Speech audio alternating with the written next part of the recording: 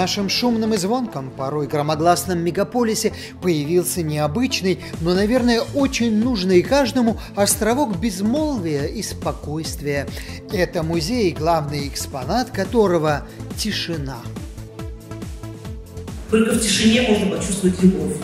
И только в тишине можно понять другого человека, который находится в ней не потому, что ему так хочется, а потому что так получилось.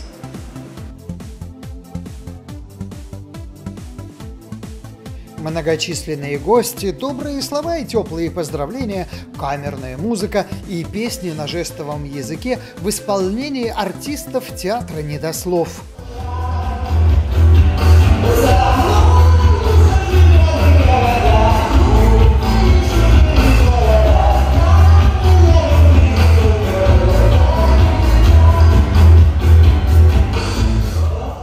Открытие музея в тишине стало громким и долгожданным событием культурной жизни столицы.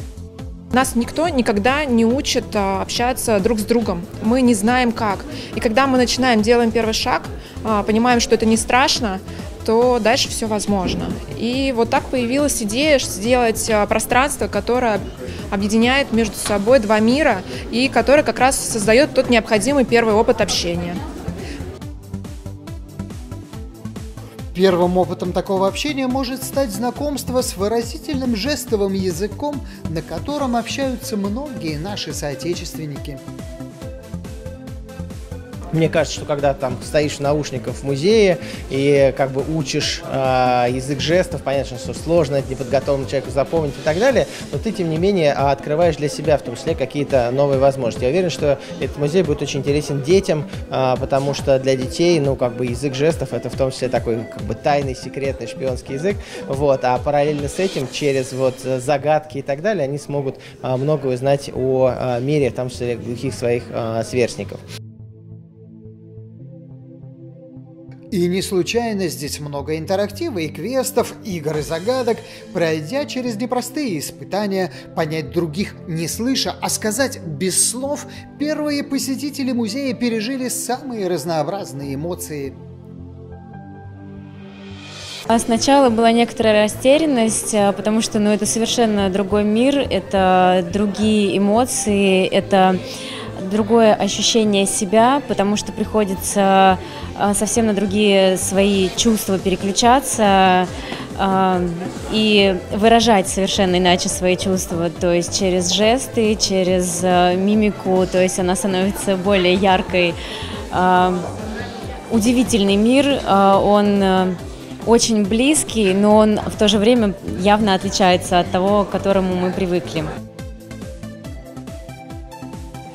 Здесь, в тишине, будут рады всем посетителям, но, пожалуй, этот музей все же нужнее слышащим.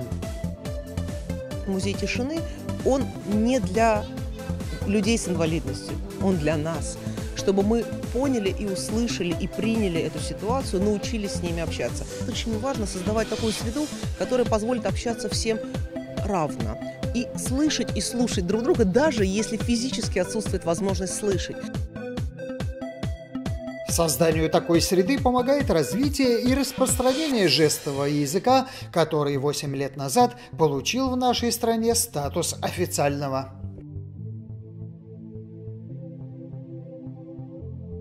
Отношение к жестовому языку заметно меняется. Оно становится все более позитивным – Например, Московский лингвистический университет готовит сейчас переводчиков жестового языка по программе «Бакалавр». Я был на защите выпускных работ студентов, и все студенты провели интересные исследовательские работы по жестовому языку. Гости музея могли и сами убедиться в профессионализме студентов Московского лингвистического университета, которые работали на презентации в качестве переводчиков. Интерес большой. Э, у нас набирается э, каждый год группа. Есть э, бюджетные места. Нам всегда дает министерство 10 бюджетных плюс, плюс еще много платников. Интерес действительно большой, даже среди неслышащих. А мы, как преподаватели, как образовательная организация, делаем все возможное, чтобы наши ребята были конкурентоспособны, чтобы они были нужны обществу, чтобы помогали глухим неслышащим. И они это делают с большим удовольствием. Выпускники как этого, так и других вузов без работы не останутся. Услуги сурдопереводчиков востребованы в столице постоянно. Правительство Москвы всегда финансирует услуги переводчиков при проведении массовых мероприятий. А вот количество бесплатных часов сурдоперевода, положенных каждому неслышащему человеку, это 40 часов в течение года. Вот такая услуга. И этих часов хватает не всегда, особенно тем, кто учится, так что этот вопрос остается открытым. На помощь приходят современные технологии. В музее можно увидеть приборы, помогавшие неслышащим людям в прошлом веке, и сравнить их с инновационными разработками сегодняшнего дня. Это устройство, оно очень удобно для использования в каких-нибудь банках, в МФЦ, там, куда приходят люди с нарушениями слуха, но там, где работают люди, которые не понимают жестового языка. Оно распознает нашу речь и переводит ее на экран в виде текста. Так, человек, у которого проблемы со слухом, может понимать, о чем мы говорим, а он, в свою очередь, просто печатает что-то, и мы понимаем, что хочет сказать он. А сотрудников экстренных служб в Москве обучают элементарным навыкам общения с глухими и слабослышащими людьми.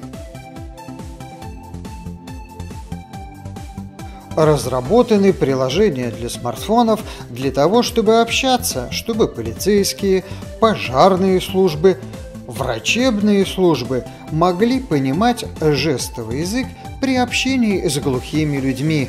Жизнь меняется, меняется и отношение к жестовому языку в положительную сторону. А в эти дни в связи с непростой эпидемиологической ситуацией по инициативе Московской городской организации ВОГ правительство столицы открыло горячую линию для глухих, на которую можно обратиться на жестовом языке по видеосвязи в мессенджерах WhatsApp и Telegram или прислать обращение по почте. Thank you